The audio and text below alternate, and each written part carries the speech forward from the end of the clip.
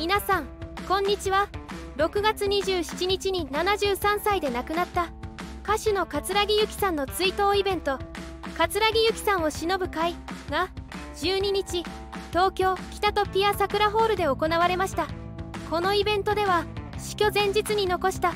最後のメッセージが公開されました。今回は桂木由紀さんの最後のメッセージ極秘結婚について紹介していきます。桂木由紀さんは1949年5月25日の生まれで岡山県川上郡川上町の出身です。本名は田中小夜子。桂木由紀さんは高校時代バレーボールのエースアタッカーとして国体とインターハイに2回出場して卒業後は実業団に入るもセッターへの転向を拒否して退社し音楽の道を目指しました。1969年に本名名義で歌手デビュー後1973年に朝霧町の名前でヤマハポップコンの歌唱賞を受賞。一躍有名になったのは1983年「ボヘミアン」が40万枚以上を売り上げる大ヒットを記録します。以来ロックの女王として熱い音楽魂と飾らない人柄で後輩たちに慕われました。そんな桂木由紀さんは人気絶頂の1983年。ツアー中に青森県八戸市で腹痛を訴え緊急搬送され緊急入院を余儀なくされます。原因は腹膜炎だったと分かり東京で手術をすることになりました。手術は成功し入院していたところにマスコミが押しかけると本名である田中小夜子ではなく違う名字になっていたそうです。そして桂木さんは1979年に一般人男性と極秘結婚していたことが発覚し話題となりました。音楽関係者によるとその男性とは数年後に離婚しその後は独身を貫いていたそうです。そんな桂木由紀さんは2021年4月に腹膜がんを公表し同年5月から活動を休止していました。しかもこの時点でステージ4にまで上がっていたとのことです。病気を公表して1年後の2022年5月には千葉県内で行われた夢グループ主催のコンサートで復帰をしていたそうです。桂木さんは車椅子姿で登場。ベッド・ミドラーの「ローズ」を歌い水を得た魚のよう歌えることは幸せです。と挨拶しました。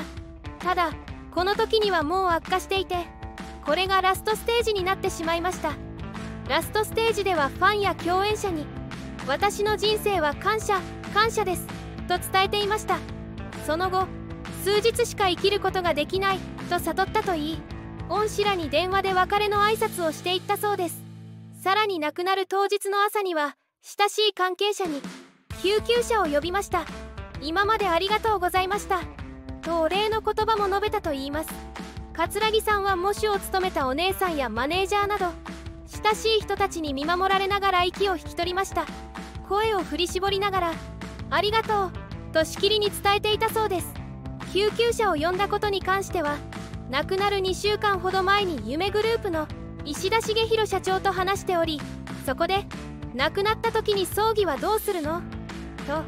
すると「私はしたくない」と亡くなる時は家ではなくその寸前に救急車を自分で呼ぶ。病院で亡くなったら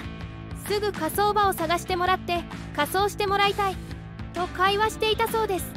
このことは石田茂弘社長が都内で悲願の歌手デビュー曲「夢と未来へ」の発表会をした時にいよいよ新曲が発売されるという矢先に桂木由紀さんが亡くなりました。亡くなる5時間前に電話がありまして「社長今までいろいろありがとうございます」とということがあったことを話しています。救急車に関してルールを作った理由としては賃貸マンションゆえに大家さんに迷惑かけたくないこと。さらに次に住まれる方にとってもいろいろ問題が出てくるからと語ったといいます。そして最後にかけられた電話で最後にかけられた言葉が「社長さん最後に聞いてください。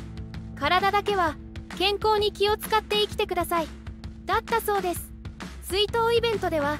亡くなる10日前の6月17日に千葉県で行われたコンサート「夢スター春秋」に出演していた春秋組の全アーティストが再び揃い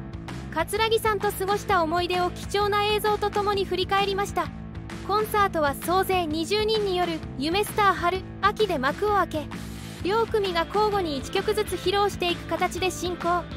昭和を代表する名曲が次々に披露されるステージ。根木敏夫さん織茂正夫さん阿部静江さん星名ゆりさんによる軽妙な前工場が会場を盛り上げていました。アンコールでは同コンサートの主催者である夢グループの石田茂弘社長と星名さんが MC を務め出演者全員が桂木さんとの思い出を語り合うコーナーも。石田社長は初めに前回の「夢スター春秋」を解雇。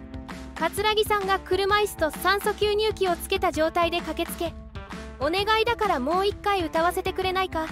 と伝えてきたというエピソードを明かし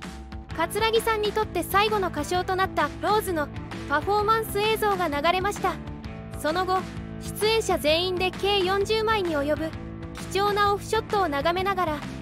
日本酒の一升瓶を恋人を抱くように抱えていたの。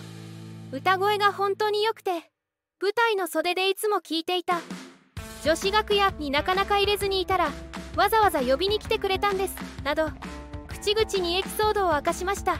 ライブ中に涙を流していたゼロさんはしっかり歌えなくて本当に申し訳ないと頭を下げ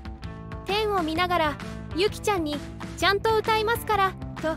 心を込めて歌おうと思ったら気持ちが入りすぎてしまったと心境を語りできればもう一回歌いたいと悔しさもにじませると共演者からフォローが相次ぎました。3月に脳梗塞で緊急入院し5月に復帰した阿部さんは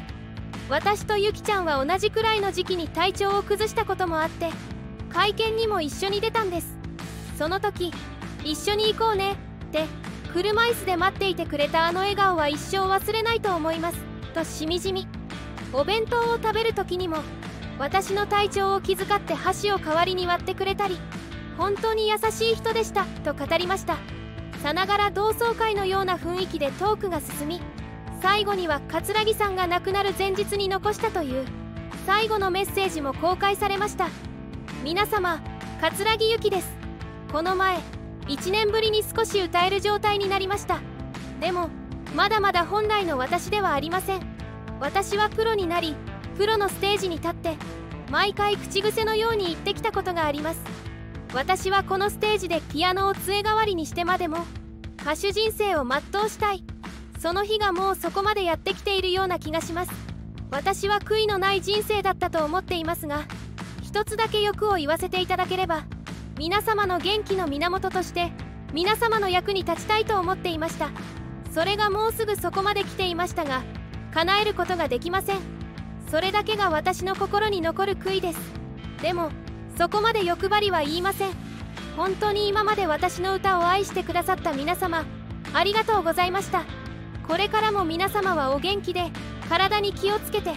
頑張って生きていただきたい。ありがとうございました。さようなら。いかがでしたか？